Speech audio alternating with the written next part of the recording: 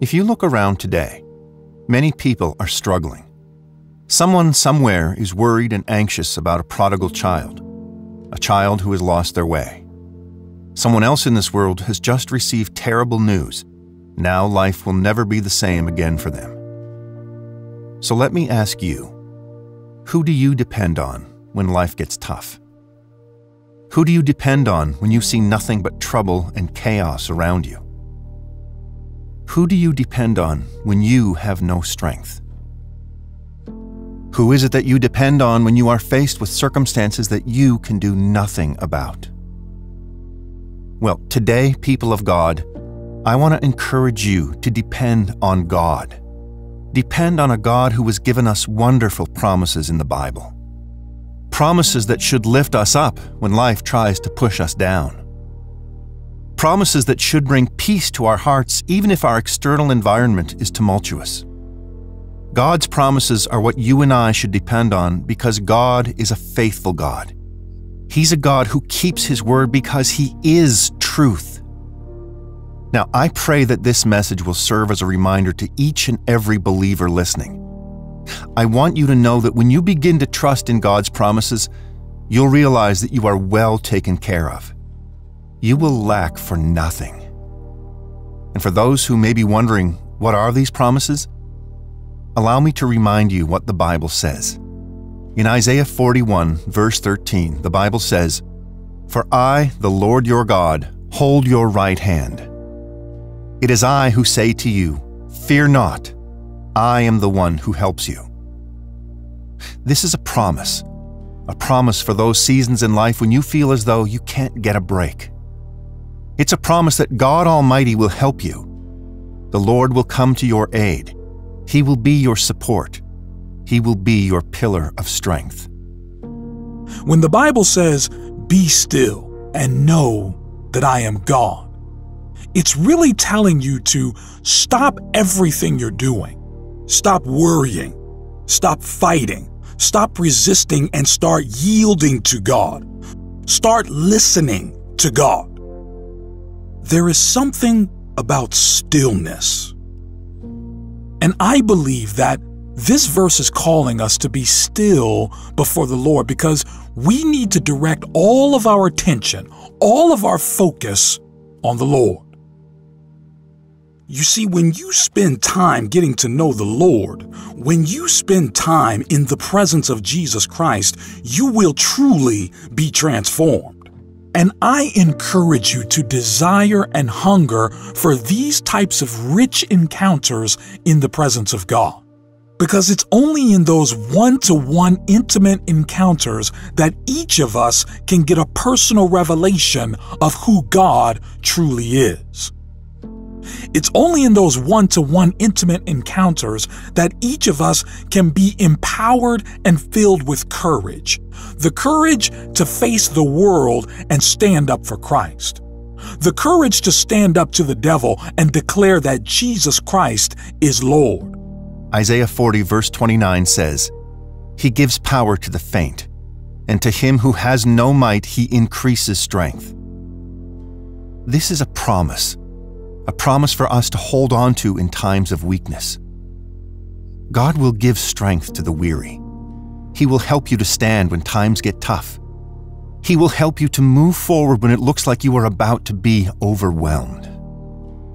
In Exodus 14, verse 14, the Bible says, The Lord will fight for you, you shall hold your peace. This is a promise for us, a promise of safety God will fight your battles. He will fight our battles, and we need only to hold our peace. And so there is no need to go back and forth trying to fight here, there, and everywhere. Instead, let God work on your behalf because we have a promise that the battle you face belongs to the Lord. The Bible in Philippians 4, verse 19 says, and my God shall supply all your need according to his riches in glory by Christ Jesus. This is a promise for provision. If you have a need, God can meet that need. This doesn't mean you will have everything you want, but in Jesus Christ, you will have everything that you can ever need. So I encourage you to get to know God's promises. Get to know them and hold on to His promises. The prophet Isaiah received a revelation that should inspire all of us to recognize God for who He truly is. Listen carefully to what Isaiah 45, verse 2 to 7 says I will go before you and make the crooked places straight. I will break in pieces the gates of bronze and cut the bars of iron. I will give you the treasures of darkness and hidden riches of secret places, that you may know that I, the Lord, who call you by your name, am the God of Israel. For Jacob my servant's sake, and Israel my elect. I have even called you by your name. I have named you, though you have not known me. I am the Lord, and there is no other. There is no God besides me. I will gird you, though you have not known me, that they may know from the rising of the sun to its setting that there is none besides me. I am the Lord, and there is no other. I form the light and create darkness. I make peace and create calamity. I, the Lord, do all these things. This is a wonderful revelation of just who God is. God is firmly in control. God is all knowing. God is almighty. Isaiah 45 22 to 23 says, Look to me and be saved, all you ends of the earth, for I am God, and there is no other. I have sworn by myself the word has gone out of my mouth in righteousness and shall not return. That to me every knee shall bow, every tongue shall take an oath. In those moments where we are still before God, we need to realize just how mighty God is, just how powerful God is. The Bible tells us there is no one and nothing that can be compared to God we need to remember this nothing and no one is worthy to be competing for the number one spot of your heart. God should be first. What does the Christian of today look like? And what should the Christian of today look like? These are two very different questions, which can have two very different answers depending on who you ask. Now, the Bible says in 1 Peter 2, verse 21, To this you were called, because Christ suffered for you, leaving you an example that you should follow in his steps. Listen to this closely. Because Christ suffered for you, leaving you an example that you should follow in his steps. I believe that this is true Christianity, following the example of Jesus Christ. Jesus Christ left heaven for earth to die for our sins. He put the church before himself. He obeyed God's will. He lived a life of purpose, a purpose that can be summed up with his words in Luke 22, verse 42, which says, Father, if you are willing, take this cup from me, yet not my will, but yours be done. When we get to such a place, this is what I believe to be true Christianity.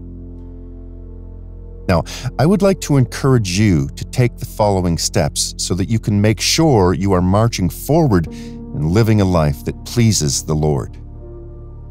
To begin with, we all need to live lives where God is first.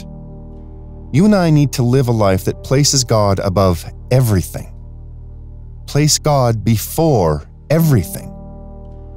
The Amplified Translation for Luke 9, verse 23 says, And he was saying to them all, If anyone wishes to follow me as my disciple, he must deny himself, set aside selfish interests, and take up his cross daily, expressing a willingness to endure whatever may come and follow me, believing in me conforming to my example in living, and, if need be, suffering or perhaps dying because of faith in me.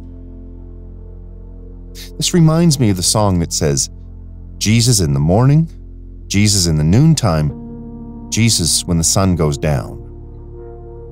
And to me, this means living a life where you are completely consumed by the Lord's presence, by His Word, by the Holy Spirit. And no, it doesn't mean you neglect your day to day responsibilities because you're praying 24 7. No.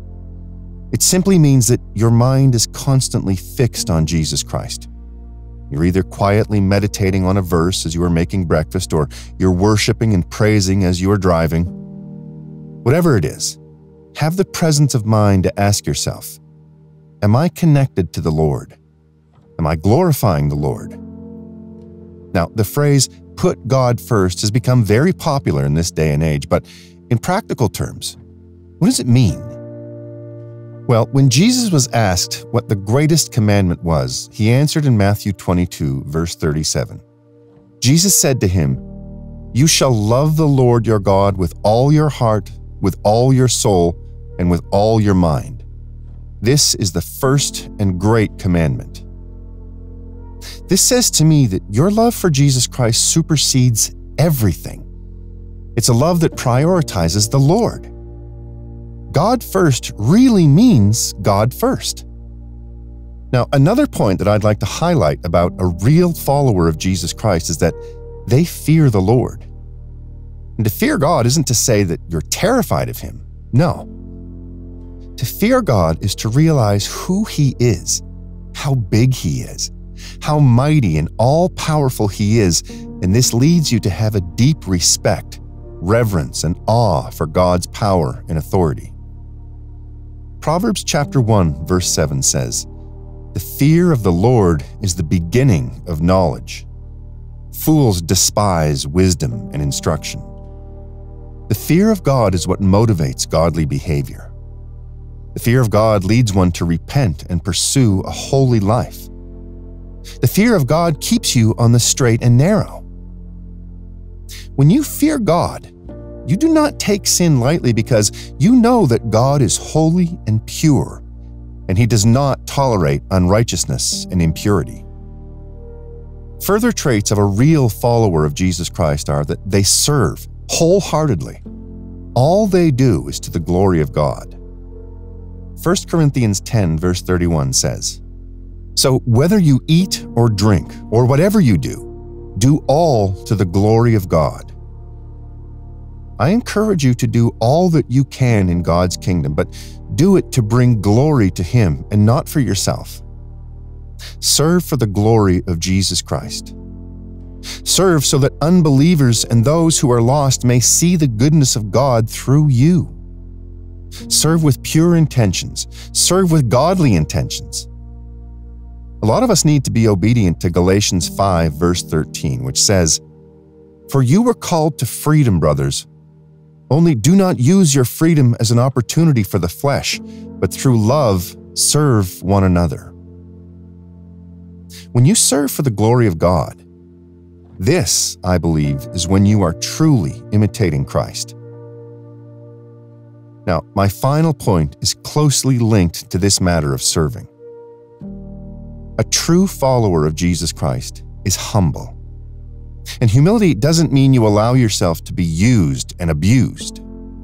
It simply means you don't think more highly of yourself than you ought to, and you don't think any less of others than you ought to.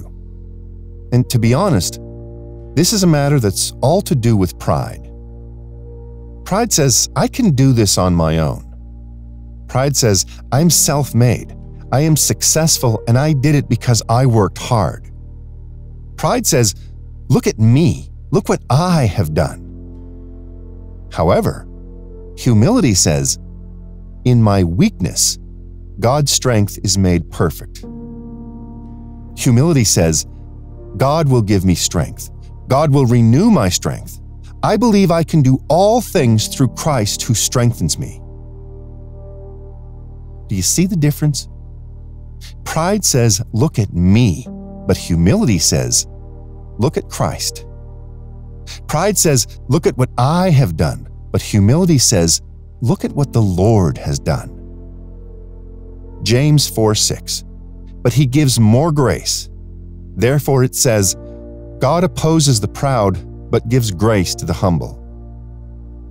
You find favor in being humble. You find blessings in being humble. So I encourage you to be someone who puts God first. Whether it's day or night, come rain or sunshine, put God first. Be someone who lives with the fear of the Lord in their life. Revere and honor our Lord Jesus Christ always. And finally, be humble. Always be humble in everything you do. Seek to serve others, all for the glory of God. People of God, I want to ask you something. When was the last time you publicly acknowledged Jesus Christ as your Lord and Savior? Now, it may have been to a coworker that you see every day, or to someone you just met and struck up a conversation with. But overall, I believe that every single one of us during the course of our lives, we will have at least one opportunity to publicly declare what we believe and who we believe in. The Bible says in Matthew 10, verse 32, Therefore, whoever confesses me before men, him I will also confess before my Father who is in heaven. Now, I don't know about you, saints, but here's my confession I believe in Jesus Christ. I believe that He is the way, the truth, and the life, and no one can get to the Father except through Jesus. I believe He is the bread of life. He is the one who can sustain us. I believe that Jesus Christ is the Prince of Peace, and in Him you will find peace beyond all human understanding. I believe Jesus Christ is the light of the world and the Good Shepherd. I believe he was a healer and a miracle worker when he walked here on this earth. And I also believe that he is still able to do the impossible, even today. I believe he died on a cross for our sins, for my sins. And I believe that he rose back to life after three days and ascended on high. And right now, he is seated on the right side of the Father. Listen to me. In the name of Jesus, there is power. Jesus Christ is the name above every other name. He is the author and the finisher of our faith. He is the risen one, the Almighty One. When we speak that name, the mighty name of Jesus Christ, every sickness has to bow. Every disease has to leave. Every chain has to loose. And so here is my word to you as believers. We should not be ashamed of the gospel of Jesus Christ. We should never compromise the word of God so that we can fit into this world. We should not be ashamed of the gospel because the devil in the world Oh, they are aggressively spreading a message of deception. The devil in this world is aggressively trying to lead people away from the saving gospel of Jesus Christ. And so it's time that we, as believers of Jesus Christ, it's time for us to stand up and to declare to the world that there is a Savior. There is someone who can set you free if you're bound. There is a Redeemer and his name is Jesus Christ. Saints, we should not be ashamed of the gospel, but as Christians, we must stand up and fight for the gospel. We must rise up as sons and daughters of the Most High and proclaim that Jesus Christ is Lord.